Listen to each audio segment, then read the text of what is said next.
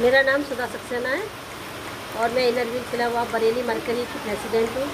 आज हम लोगों ने क्लब के सभी मेंबर यहाँ आए और सोशल डिस्टेंसिंग को ध्यान में रखते हुए मौसम भी बारिश का था, लेकिन कुछ लोग नहीं माना मन कि अनाथ आश्रम में आना है तो अधिकतर महिलाएँ आई गई हैं हमारे क्लब की। और हम लोगों ने यहाँ पे बच्चों के साथ में केक काटा और बच्चों के साथ में जन्माष्टमी का पर्व मनाया है।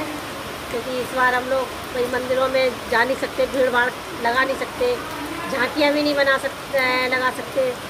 तो हम लोगों ने ऐसे ही थोड़ा बहुत अपना सब अनाथ आश्रम में आके बच्चों के साथ में इंजॉय किया है।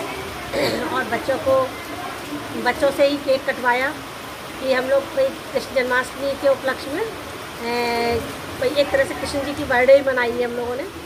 और यहाँ पे सबको फल बांटे टैक्स के पैकेट लेके आए थे, कुछ खाने पीने के सामान लेके आए थे, बच्चों को दिया और बच्चों के साथ में इंजॉय किया।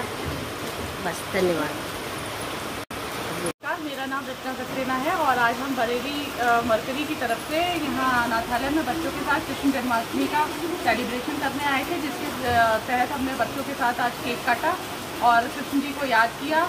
अब बर्थडे जो मनाई जाती है, बच्चे केक काट के मनाते हैं तो बच्चों को लगे कि हाँ वाकई में कृष्ण जी का बर्थडे बनाया है। सब बच्चों ने केक काट के बहुत इन्जॉय किया और सबके साथ में हम लोगों ने बर्थडे की तरह ही उन लोगों को स्नैक्स वगैरह दे के इन्जॉय किया है।